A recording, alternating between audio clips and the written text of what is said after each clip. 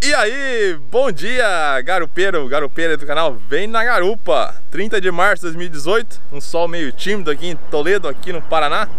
Vim com a minha magrela aqui para gravar esse vídeo aí Eu não gosto muito de gravar em casa, gosto de gravar mais no ar livre Como você viu no título aí, eu dei a minha primeira entrevista né, da minha vida Lá pro Rafael Cantarelli, do canal Papo de Scooter Ficou uma entrevista bem legal para você que gosta de viagem de moto aí, quer fazer sua primeira viagem, você vai curtir bastante a entrevista. Eu vou deixar o link aqui na descrição do vídeo. Aproveitar esse feriadão aí que você tá de folga aí, né? Vai lá e assista a entrevista que ficou bem legal.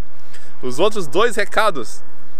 Galera, por favor, curtam a página do Vem na Garupa lá no Facebook. Estamos apenas com 120 curtidas lá.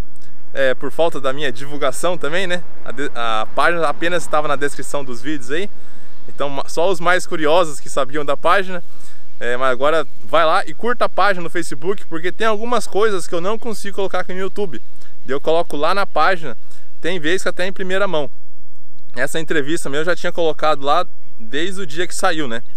E outra coisa, essa semana eu criei o Instagram do Vem na Garupa.